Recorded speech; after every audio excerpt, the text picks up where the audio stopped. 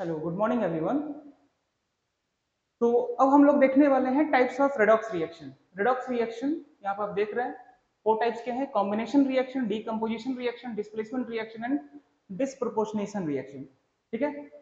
तो ये पहला है आपका combination reaction reaction in which two atoms और molecules combine together to form a third molecule is called combination reaction. आप यहाँ पर देख रहे हैं कि यहाँ पे मैग्नीशियम और और नाइट्रोजन जो है कंबाइन करके Mg3N2 फॉर्म कर रहा है, ठीक है?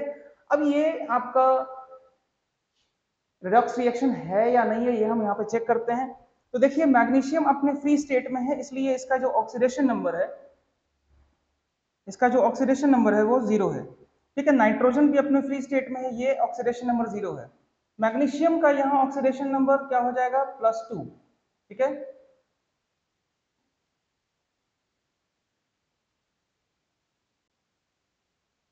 प्लस टू होगा और नाइट्रोजन का होगा माइनस थ्री। तो टोटल चार्ज कितना हो गया?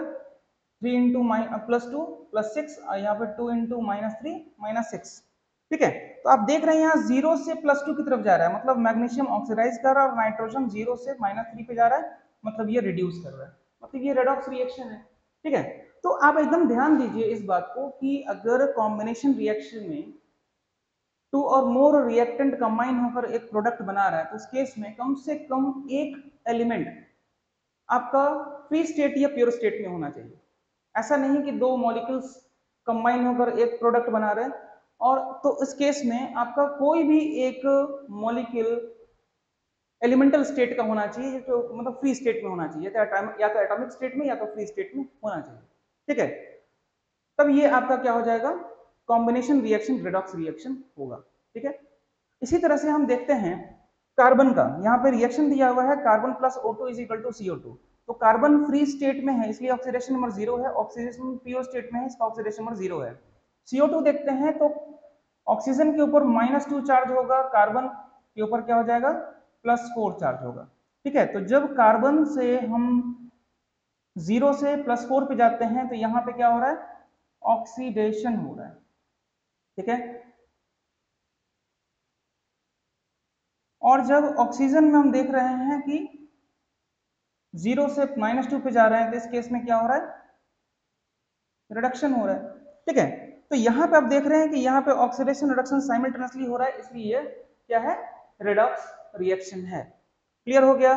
तो वैसे रिएक्शन जिसमें ऑक्सीडेशन और रिडक्शन साइमल्टेनियसली होता है, उसको हम लोग रिडॉक्स रिएक्शन बोलते हैं। यहाँ पे हम देख रहे हैं कि दोनों एग्ज़ाम्पल में रिएक्शन में ऑक्सीडेशन और रिडक्शन साइमल्टेनियसली हो रहा है। यहाँ पे मैग्नीशियम ज़ीरो से प्लस टू पे जा रहा है ऑक्सीडेशन हो रहा है और नाइट्रोजन में ज़ीरो से माइनस थ्री पे जा रहा है मतलब रिडक्शन हो रहा है। मतलब ऑक्सीडेशन रिडक्शन दोनों हो रहा है। तो यहाँ पे हम लिख देते हैं नोट में।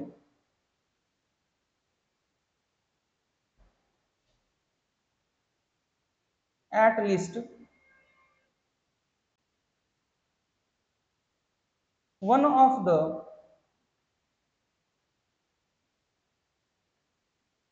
reactant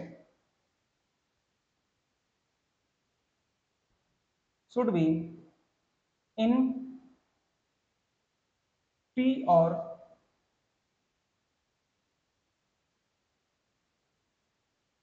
pure state ठीक है? Free state free state of pure state आप जानते हैं। ठीक है? तब ये आपका रिडॉक्स रिएक्शन होगा। अगला टाइप जो है डीकम्पोजिशन रिएक्शन है। डीकम्पोजिशन रिएक्शन आप लोग टेंथ क्लास में भी आप लोग पढ़ चुके हैं। ये एडिशन रिएक्शन का जस्ट अपोजिट होता है। ठीक है? एडिशन रिएक्शन में क्या होता है कि दो रिएक्टेंट्स आपस में कंबाइन होकर प्रोडक्ट फॉर्म करता है और डीकम्पोजिशन में इसका उल्टा होता है कि एक कोई सब्सटेंस है जो कि डिकम्पोज होकर वो आपका टू और मोर सब्सटेंस में डिकम्पोज होता है मतलब प्रोडक्ट टू और मोर बनता है। ठीक है? इसमें भी एटलीस्ट कम से कम जो प्रोडक्ट बन रहा है उसमें कोई एक एलिमेंटल स्टेट में मतलब प्योर स्टेट और फ्री स्टेट में होना चाहिए, तभी ये आपका क्या होगा? रिडॉक्स रिएक्शन होगा।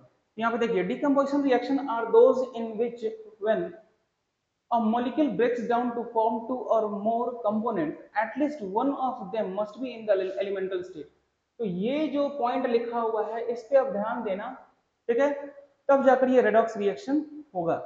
ठीक है? तो वैसा रिएक्शन जिसमें एक मॉलिक्यूल ब्रेक होकर टू और मोर सब्सटेंस में डिसोसिएट हो जाता है, उसमें कम से कम एक कंपोनेंट एलिमेंटल स्टेट में होना चाहिए फ्री स्टेट या प्योर स्टेट में होना चाहिए। जैसे यहाँ पे देखिए K C L O three ये डिसोसिएट हुआ तो ये के सी एल और प्लस ओ टू में डिसोसिएट हो गया। ठीक है तो अब यहाँ पे देखिए ओ टू जो है प्योर स्टेट है।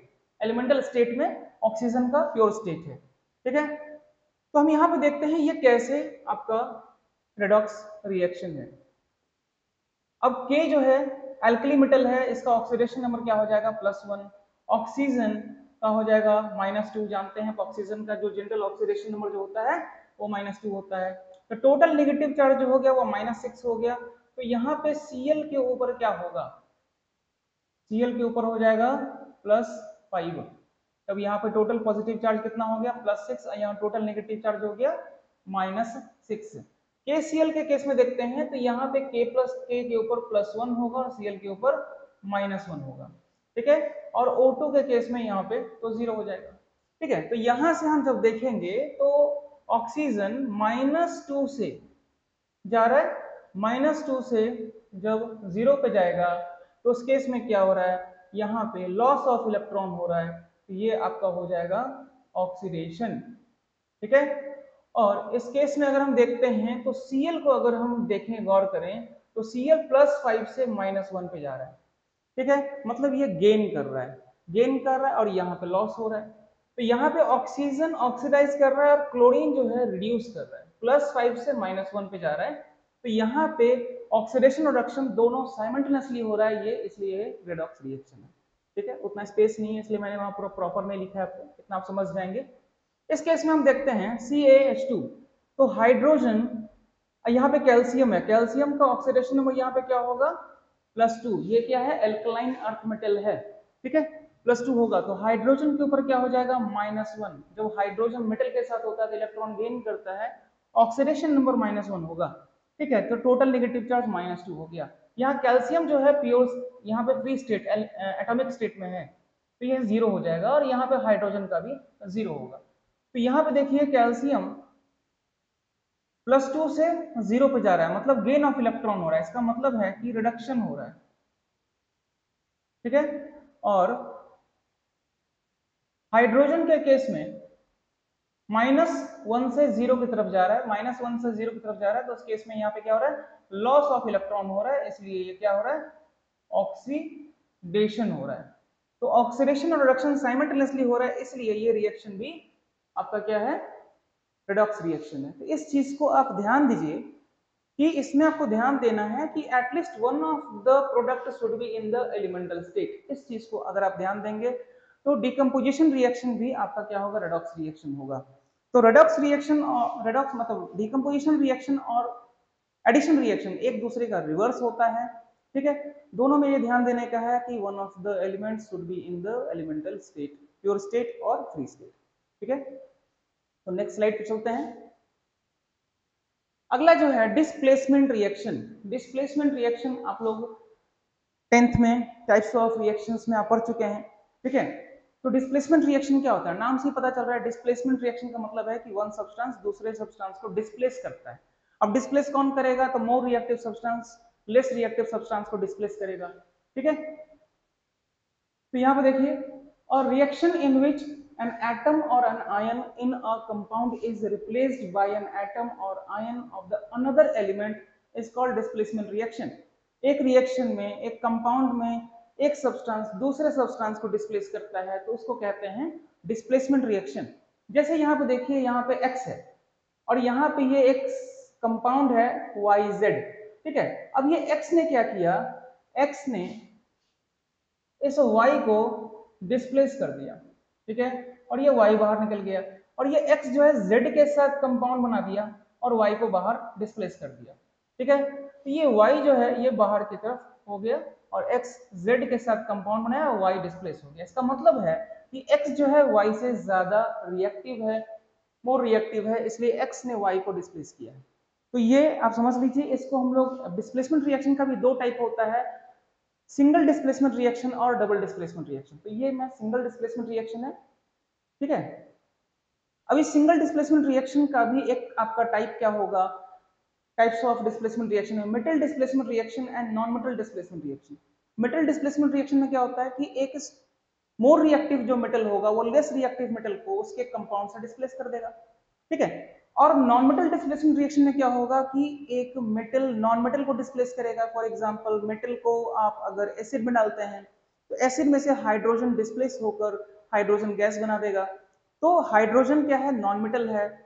ये का हो गया मेटल डिस्प्लेसेस नॉन मेटल एक ऐसा भी एग्ज़ाम्पल होता है जिसमें stronger non metal weaker non metal को डिस्प्लेस करता है उसके कंपाउंड का कंपाउंड से। ठीक है? तो इसको हम लोग फिर आगे देखते यहाँ पे देखिए। मेटल डिस्प्लेसमेंट रिएक्शन यहाँ पे आपको दिया हुआ है, ये है metal displacement reaction in these reactions, a metal in the compound is displaced by some other metals in the uncombined or elemental state ठीक है? इसमें क्या लिखा हुआ है कि एक मेटल जो है, एक कंपाउंड में से अदर मेटल को डिस्प्लेस करता है। ठीक है? तो यहाँ पर जैसे देखिए C U S O four aqueous medium में है। और यह जिंक मेटल सॉलिड में है। अब आप जानते हैं कि जब हम एक्टिविटी सीरीज़ देखते हैं तो एक्टिविटी सीरीज़ में जो एलिमेंट जो मेटल हायर पोजीशन पे होता है, वो ज़्यादा रिएक्टिव होता है, ठीक है as compare to lower elements तो अब एक्टिविटी सीरीज़ आप देखेंगे तो उसमें जिंक जो है कॉपर से ज़्यादा रिएक्टिव है, इसलिए वो हायर पोजीशन पे है। तो जिंक क्या करेगा? कॉपर को डिस्प्लेस कर देगा इसी के सोल्यूशन से, इसी के कंपाउंड से, ठीक है? तो जिंक ने क्या किया? कॉपर को डिस्प्लेस किया और खुद सॉल्यूशन बना दिया ZnSO4 और कॉपर को बाहर कर दिया। इसका मतलब है कि copper is less reactive than zinc. ठीक है? तो जिंक डिस्प्लेसेस कॉपर। अब जिंक और कॉपर दोनों मेटल है, इसलिए इसको बोलते हैं मेटल डिस्प्लेसमेंट रिएक्शन बोलते हैं। इस केस में देखिए एल्यूमिनियम है aluminium aluminium Cr2O3 chromium chromium आपका मेटल है। एल्यूमिनियम क्या करेगा कॉपर को डिस्प्लेस करके उसको फ्री स्टेट में कन्वर्ट कर दिया और खुद एल्यूमिनियम ऑक्सीजन के साथ कंपाउंड बना दिया Al2O3 ठीक है? तो ये आपका क्या बन गया? ये भी metal to metal displacement reaction है। अब ये कैसे आपका रेडॉक्स रिएक्शन है, ये हम थोड़ा चेक करके देखते हैं। ठीक है?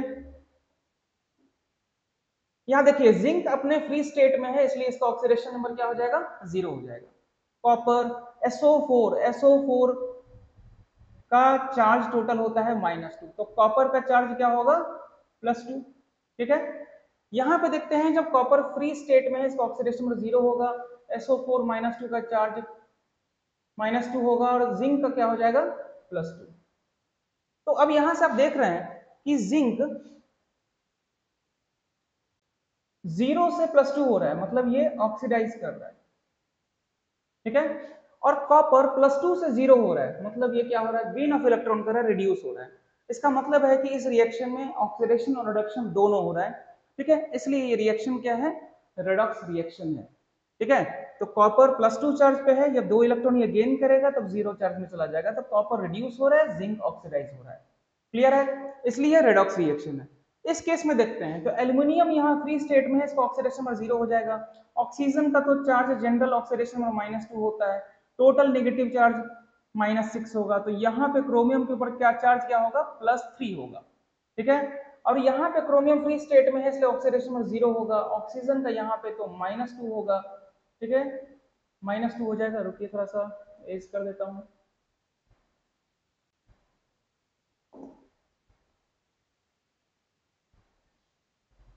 माइनस टू और यहाँ पे चार्ज हो जाएगा प्लस थ्री ठीक है? तो एल्यूमिनियम जो है ज़ीरो से प्लस थ्री पे जा रहा है मतलब ये ऑक्सीडाइज हो रहा है। ठीक है? और क्रोमियम प्लस थ्री से ज़ीरो पे जा रहा है, इसलिए प्लस थ्री से ज़ीरो पे जाना है मतलब प्लस थ्री यहाँ पे तीन इलेक्ट्रॉन गेन करेगा तो ये क्या हो रहा है? रिड्यूस हो रहा है। तो इस रिएक्शन में क्रोमियम जो है रिड्यूस हो रहा है एल्यूमिनियम ऑक्सीडाइज हो रहा है, इसलिए होल एंड होल ये रिएक्शन जो है रेडॉक्स रिएक्शन है। ठीक है? तो आपने देखा कि ये मेटल डिस्प्लेसमेंट रिएक्शन भी आपका क्या है? रेडॉक्स रिएक्शन है। इसी तरह से नॉन मेटल डिस्प्लेसमेंट रिएक्शन जब देखते हैं तो इसमें मेटल और non metal displaces another non metal मैंने बोला था आपको मेटल यहाँ पे मील लिखा हुआ है, यहाँ पे ये गलत है। ये आपका क्या है? मेटल है ये। ठीक है?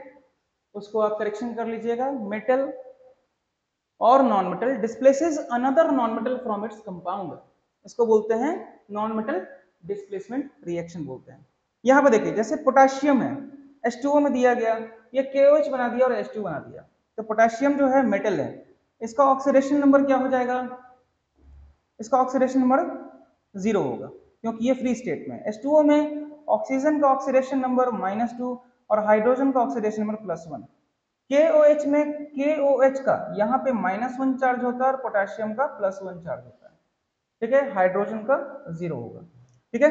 तो अब जब यहाँ पे देख रहे हैं कि हाइड्रोजन यहाँ पे प्लस वन से हाइड्रोजन यहाँ पे प्लस वन से ज़ीरो में जा रहा है। मतलब ये गेन ऑफ़ इलेक्ट्रॉन कर रहा है, इसका मतलब है कि ये रिडक्शन कर रहा है। ठीक है? और जो सोडियम है, नहीं, सोडियम नहीं, पोटेशियम जो है, वो ज़ीरो से प्लस वन पे जा रहा है मतलब इसका क्या हो रहा है? ऑक्सीडेशन हो रहा है। ठीक है?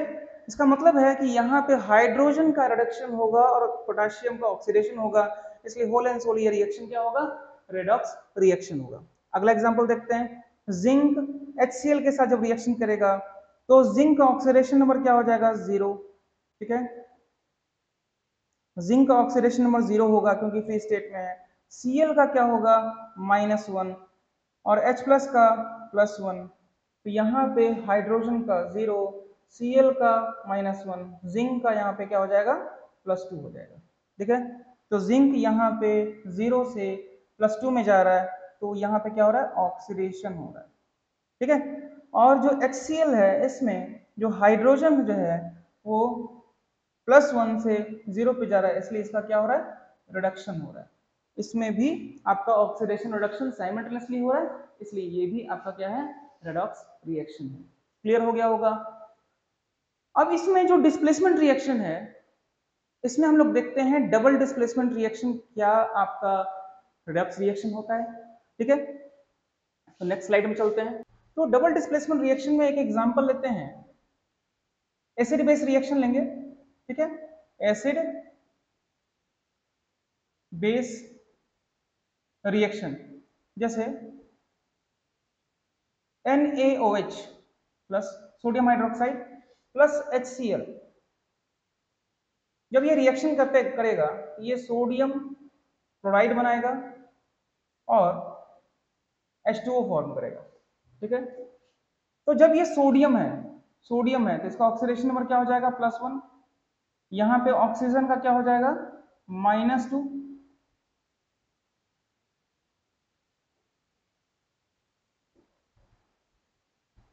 माइनस टू और हाइड्रोजन का हो जाएगा प्लस वन क्लोरीन का माइनस वन हाइड्रोजन का प्लस वन यहाँ पे प्लस वन और क्लोरीन का माइनस वन इसी तरह से ऑक्सीजन का माइनस टू और हाइड्रोजन का प्लस वन ठीक है? अब यहाँ पे देखते हैं सोडियम प्लस वन है, यहाँ पे भी प्लस वन है. क्लोरीन माइनस वन है, यहाँ पे माइनस वन है। ऑक्सीजन माइनस टू है, यहाँ भी माइनस टू है। हाइड्रोजन यहाँ प्लस वन है, यहाँ पे भी प्लस वन है। इसका मतलब है कि किसी में भी ऑक्सीडेशन नंबर चेंज नहीं हो रहा है। मतलब नो लॉस और नो गेन हो रहा है। इसमें सिंपली क्या होता है? आयन का एक्सचेंज होता है। इसमें केस में क्या होगा कि ये जो Na प्लस आयन होता है, वो Cl माइनस आयन के साथ जाकर NaCl बना देता है। ठीक है? और जो H प्लस है वो OH माइनस के साथ कंबाइन करके H2O बना देता है। इसलिए हम लोग डबल डिस्प्लेसमेंट रिएक्शन को हम सिंपली बोलते हैं। Double displacement reaction is defined as the exchange of, the reaction in which the exchange of ions takes place ठीक है? जिस रिएक्शन में आयंस का एक्सचेंज होता है और प्रोडक्ट बनता है, उसको हम लोग बोलते हैं डबल डिस्प्लेसमेंट रिएक्शन इसमें कोई भी चार्ज चेंज नहीं होता है। जो इधर चार्ज है, उतना इधर चार्ज है, इसका मतलब है नो इलेक्ट्रॉन डिस्प्लेसमेंट इसलिए डबल डिस्प्लेसमेंट रिएक्शन जो है, ये रेडॉक्स रिएक्शन नहीं है। नॉट रेडॉक्स रिएक्शन ठीक है? इस चीज़ को आप नोट कर लीजिए। ठीक है? तो अगले हम लोग अगले रिएक्शन में आते हैं, जिसको बोलते हैं डिसप्रोपोर्शनेशन रिएक्शन ठीक है? तो जो लास्ट आपका रेडॉक्स रिएक्शन है, वो है डिसप्रोपोर्शनेशन रिएक्शन ठीक है? ये एकदम अलग है। इसमें ये आप रिएक्शंस पहले नहीं पढ़े हैं बाद बाकी जो रिएक्शंस था वो आप टेंथ में पढ़ चुके हैं टाइप्स ऑफ़ रिएक्शंस में, ठीक है? तो ये वैसा रिएक्शन है जिसमें आपका एक element three different oxidation state में प्रेजेंट होता है और एक सब्सटेंस जो होता है वो ऑक्सीडाइजिंग भी ऑक्सीडाइज भी करता है रिड्यूस भी करता है। इसका मतलब है कि वो ऑक्सीडाइजिंग एजेंट की तरह भी काम करेगा और रिड्यूसिंग एजेंट की तरह भी एक्ट करेगा, ठीक है? तो यहाँ पे देखिए ये क्या लिखा हुआ है in disproportionation reaction an element in one oxygen state is simultaneously oxidise and reduced ठीक है तो मैंने आपको बोला था, कोई एक एलिमेंट ऑक्सीडाइज भी करेगा, कोई एक सब्सटेंस एक ऑक्सीडाइज भी करेगा रिड्यूस भी करेगा। ठीक है? One of the reacting substance in a proportionation reaction always contain an element that exist in at least one oxidation state ठीक है? देखिए यहाँ पे contains an element that can exist in at least three different oxidation state. ठीक है? Three different oxidation state में होता है। इसका मतलब है कि डिस्प्रोपोर्शनेशन रिएक्शन उस वैसा टाइप का रिएक्शन है जिसमें एक element three different oxidation state में होता है। तभी कोई एक सब्सटेंस ऑक्सीडाइज भी करेगा रिड्यूस भी करेगा। ये कंडीशन आपको ध्यान रखना है। तभी ये आपका होगा। अब जैसे देखिए एग्जांपल देखिए H2O2 ठीक है? ये रिएक्शंस में आपको ऐसा लिखा है यहाँ पे एरो छूट गया है यहाँ पे H2O2 और यहाँ पे 2H2O और ये O2 है, ठीक है? अब देखिए, यहाँ पे ये हाइड्रोजन पेरोक्साइड है। ऑक्सीजन का ऑक्सीडेशन नंबर माइनस वन होता है और हाइड्रोजन का प्लस वन होता है। इसको कहते हैं हाइड्रोजन पेरोक्साइड ठीक है? हाइड्रोजन पेरोक्साइड ठीक है? तो टोटल प्लस टू चार्ज हुआ माइनस टू चार्ज हुआ। अब यहाँ पे देखिए ऑक्सीजन का ऑक्सीडेशन नंबर माइनस टू और हाइड्रोजन का क्या हो जाएगा? प्लस वन तो टोटल चार्ज हो गया कितना? प्लस टू और यहाँ पे माइनस टू और ऑक्सीजन का हो जाएगा ज़ीरो तो ऑक्सीडेशन नंबर ऑफ़ ऑक्सीजन क्या होगा? ठीक से लिख देते हैं। ऑक्सीडेशन नंबर ऑफ़ ऑक्सीजन क्या हो गया? ऑक्सीजन का यहाँ पे हो गया माइनस वन, यहाँ हो गया माइनस टू और यहाँ हो गया ज़ीरो। तो मैंने बोला था कि एक एलिमेंट अपना थ्री डिफरेंट ऑक्सीडेशन स्टेट में प्रेजेंट होता है, यहाँ minus one, minus two, zero है। ठीक है? अब यहाँ पर देखिए कि जब ये माइनस वन से माइनस टू पे जाएगा तो इलेक्ट्रॉन गेन करेगा गेन करेगा तो ये क्या करेगा? रिडक्शन करेगा। और यहाँ से जब माइनस वन से ज़ीरो पे जाएगा तो ये एक इलेक्ट्रॉन लॉस करेगा तो ये हो जाएगा ऑक्सीडेशन तो इस केस में जो H2O H2O2 है, ये ऑक्सीडाइज भी कर रहा है और रिड्यूस भी कर रहा है।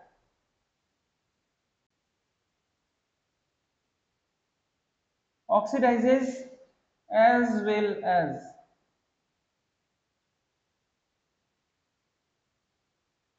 reduces ठीक है? तो H2O2 जो है act as oxidizing agent as well as reducing agent. ठीक है? तो वैसा रिएक्शन जिसमें एक element three different oxidation state में प्रेजेंट हो और उसमें जो एक सब्सटेंस हो, वो ऑक्सीडाइज भी करे रिड्यूस भी करे, इसका मतलब है कि वो ऑक्सीडाइजिंग एजेंट या रिड्यूसिंग एजेंट दोनों होगा। वैसे रिएक्शन को हम लोग बोलते हैं डिसप्रोपोर्शनेशन रिएक्शन तो ये आपका था, ये आप नोट कर लीजिए। ये आपका था पूरा का पूरा types of redox reaction complete हो गया। ठीक है? हम लोग पढ़ने वाले हैं difference between oxidation number and valency ठीक है? ऑक्सीडेशन नंबर आप पहले ही पढ़ चुके हैं।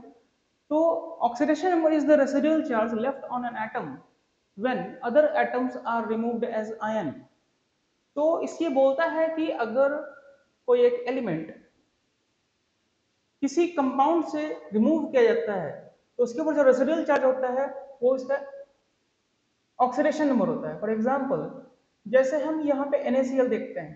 NaCl में Na और Cl सोडियम और क्लोरीन को जब एज आयन रिमूव किया जाता है तो सोडियम के ऊपर प्लस वन चार्ज होता है और क्लोरीन के ऊपर माइनस वन चार्ज होता है। तो यही आपका ऑक्सीडेशन नंबर है सोडियम का प्लस वन और क्लोरीन का माइनस वन और मैं इसका आपको दूसरा भी डिफिनेशन बता चुका हूँ कि जब एक एलिमेंट प्योर स्टेट या फ्री स्टेट से जब कंबाइंड स्टेट में जब कन्वर्ट होता है तो ड्यू टू लॉस और गेन ऑफ़ इलेक्ट्रॉन उनके ऊपर जो चार्ज डेवलप होता है, वो इसका ऑक्सीडेशन नंबर होता है। बहुत ही सिंपल है, ठीक है? और वैलेंसी क्या है? Valency is the combining capacity of an element तो हम आगे स्लाइड में इसका देखते हैं, इसके बारे में।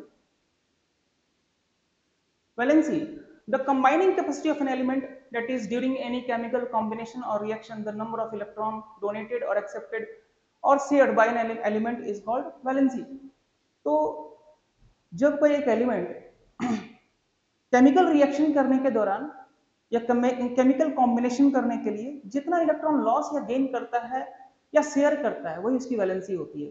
ठीक है? एक एग्ज़ाम्पल से देखते हैं। जैसे यहाँ पे सोडियम है। तो सोडियम का एटॉमिक नंबर जो होता है, वो 11 होता है। इसका इलेक्ट्रॉनिक कॉन्फ़िगरेशन 281 होता है। सोडियम मेटल है, इसलिए ये इलेक्ट्रॉन लॉस करेगा क्योंकि इसको अपडेट कंप्लीट करने के लिए एक इलेक्ट्रॉन लॉस करना पड़ेगा। तो केमिकल कॉम्बिनेशन करने के लिए इसको एक इलेक्ट्रॉन लॉस करना है, इसलिए इसकी जो वैलेंसी होगी, ये क्या होगा? वन होगा। ठीक है? वैलेंसी को पॉजिटिव या निगेटिव में हम नहीं दिखाते हैं। ठीक है? ये आपका फुल नंबर में आता है। ठीक है? वन टू थ्री फोर तो सोडियम एक इलेक्ट्रॉन लॉस किया है इसलिए सोडियम की वैलेंसी क्या होगी? Valency of sodium is one ठीक है? उसी तरह से मैग्नीशियम है। Magnesium 12 atomic number electronic configuration 282 magnesium अब केमिकल रिएक्शन करने के लिए क्या करेगा? अपना ऑक्टेट कंप्लीट करने के लिए दो इलेक्ट्रॉन लॉस करेगा। इसलिए मैग्नीशियम दो इलेक्ट्रॉन लॉस करके Mg प्लस टू में कन्वर्ट होगा। तो मैग्नीशियम की जो वैलेंसी होगी ये टू होगा।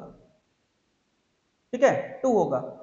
इसी तरह से अगर हम देखते हैं क्लोरीन का क्लोरीन का एटॉमिक नंबर 17 होता है इलेक्ट्रॉनिक कॉन्फ़िगरेशन 287 होगा। क्लोरीन केमिकल रिएक्शन करने के लिए, अपना ऑक्टेट कंप्लीट करने के लिए एक इलेक्ट्रॉन गेन करेगा। तो क्लोरीन की भी वैलेंसी क्या होगी? क्लोरीन की भी वैलेंसी वन होगा। ठीक है? इलेक्ट्रॉन क्लोरीन यहाँ एक इलेक्ट्रॉन गेन करेगा। ठीक है? इसलिए इसकी भी वैलेंसी वन होगी। ठीक है? तो ये आपकी वैलेंसी के कॉन्सेप्ट आपके क्लियर हो गए होंगे। अब आते हैं फिर से।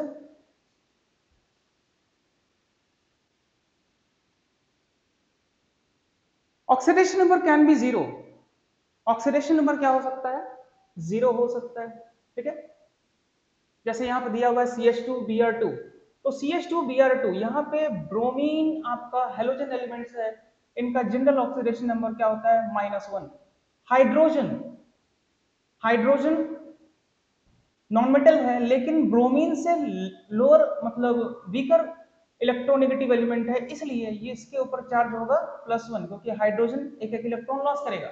जब दो हाइड्रोजन दो इलेक्ट्रॉन दे दिया और ब्रोमीन दो दो ब्रोमीन दो इलेक्ट्रॉन ले लिया तो कार्बन के ऊपर क्या चार्ज आएगा? ज़ीरो कार्बन का कोई रोल नहीं है। कार्बन कोई भी इलेक्ट्रॉन लॉस या गेन नहीं करेगा। ठीक है? इस तरह से यहाँ पे कार्बन का ऑक्सीडेशन नंबर ज़ीरो हो रहा है। और और आप जानते हैं कि कोई भी एलिमेंट जब फ्री स्टेट या प्योर स्टेट में होता है तो उसका ऑक्सीडेशन नंबर क्या होता है? ज़ीरो होता है। ठीक है? तो ज़ीरो ऑक्सीडेशन नंबर हो सकता है। लेकिन वैलेंसी में मैंने यहाँ लिखा है it can not be zero देखो यहाँ पे एक इस, मतलब स्पेसिफिक चीज़ है कि यहाँ पे मैं लिख देता हूँ except except noble gases noble gases जो ग्रुप एटीन एलिमेंट्स हैं helium neon argon krypton xenon radon ये जो एलिमेंट्स होते हैं ग्रुप एटीन एलिमेंट्स इनको हम नोबल गैसेस बोलते हैं, ये इनके ऑक्टेट कंप्लीट होते हैं. ठीक है? ये रिएक्शन में पार्टिसिपेट नहीं करना चाहता है, इसीलिए इनको इनर्ट एलिमेंट्स भी हम लोग बोलते हैं, इसलिए इनका इनकी जो वैलेंसी होती है वो ज़ीरो होती है, लेकिन नोबल गैसेस को छोड़कर और अदर एलिमेंट्स की वैलेंसी ज़ीरो हो ही नहीं सकती, इसलिए मैंने यहाँ लिख दिया it can not be zero clear हो गया होगा आपको? ठीक है? थर्ड पॉइंट पे आता है ऑक्सीडेशन नंबर में it refers to the it refers to the charge which can be positive और नेगेटिव ठीक है? तो यहाँ पे जो ऑक्सीडेशन नंबर क्या है, वो एक चार्ज है पॉजिटिव या नेगेटिव ठीक है? फ्रैक्शनल में भी हो सकता है तो ऑक्सीडेशन नंबर चार्ज को रिफर करता है, ठीक है?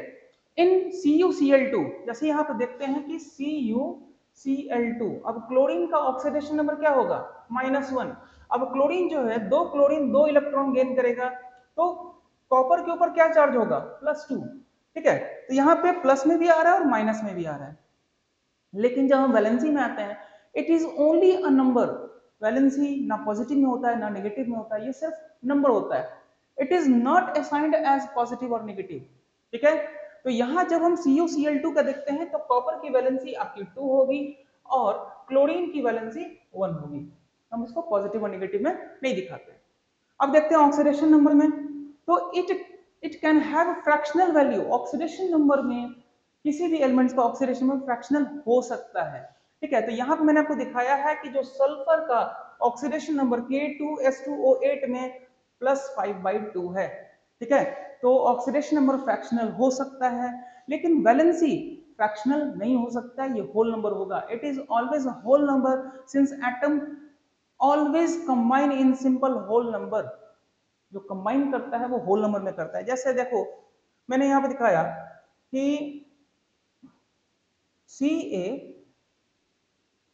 मतलब कैल्शियम और क्लोरीन के बीच में आपकी कॉम्बिनेशन हो रही है केमिकल रिएक्शन हो रही है। तो क्लोरीन की वैलेंसी वन होती है और कैल्शियम की वैलेंसी टू होती है, हम कंबाइन करेंगे तो इस तरह से कंबाइन करते हैं और ये बन जाता है सी ए सी एल टू तो यहाँ पे जो कॉम्बिनेशन हो रहा है, वो होल नंबर में हो रहा है, यहाँ पे फ्रैक्शन में नहीं होता है, इसीलिए हम यहाँ पे क्या लिखेंगे कि जो वैलेंसी होता है, वो होल नंबर में कंबाइन होता है, इसलिए वैलेंसी हमेशा होल नंबर होगा, ठीक है?